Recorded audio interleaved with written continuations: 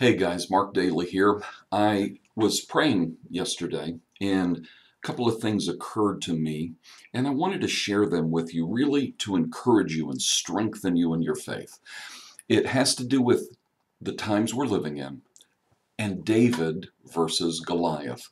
You see, David didn't lean into or on his own strength and ability, but on his covenant, his relationship with God.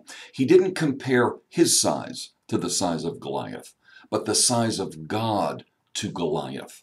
See, he looked back on his experience with the lion and the bear to remind himself of God's great faithfulness to his covenant, his promises, and his people.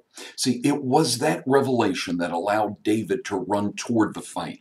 In today's battle with this virus, we actually have a better covenant to lean on based on better promises. Remember, David was under the old covenant, which depended on keeping the law. We have a covenant based on grace and the finished work of Christ. Christ has risen, and because of that, we are no longer mere mortals, mere humans, but new creations, literally sons and daughters of God. We are more than conquerors. That's not just a phrase, it is a truth. We are more than conquerors through Christ, the anointed one and his anointing. No disease shall come near my dwelling. See, that is a promise in Psalm 91. And remember, all the promises of God are yes and amen in Christ Jesus. Sickness is part of the curse. Read it in Deuteronomy 28.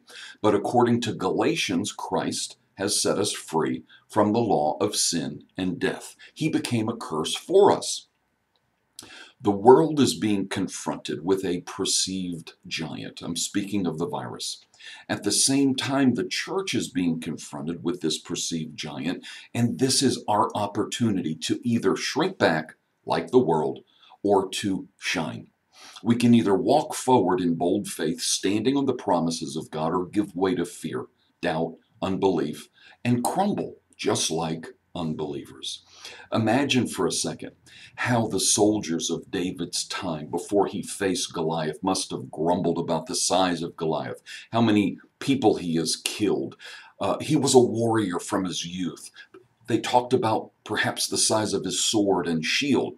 I bet it sounded a lot like our news media. If all you're doing day and night is listening to their statistics, you'll be filled with anxiety and fear. But if you choose to look into the perfect law of liberty in Christ Jesus, you will be bold as a lion. This virus has revealed the hearts of many. Are we as believers taken with anxiety and fear? Well, it's time to evaluate the condition of our hearts. I really want you to ask yourself that question. Please use this as an opportunity to evaluate yourself. If it is not of faith, it's sin. And God does not look lightly on unbelief.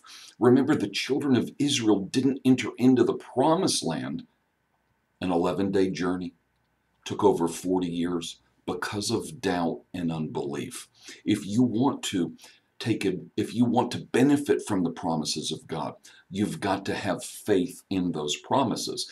If you think this is the last challenge the world is going to face, or if you think this is the last challenge for the church, you're going to be greatly mistaken there will be more and greater challenges in the days ahead, and these will be a great opportunity to shine like stars and bring glory to God because He is faithful. So I encourage you to take this opportunity to judge yourself. If you find yourself fearful, take advantage of repentance. It's a beautiful gift for your lack of faith. Fill your heart with God's Word. Build yourself up on your most holy faith, praying in the Holy Spirit. Above all else, keep yourself in the love of God.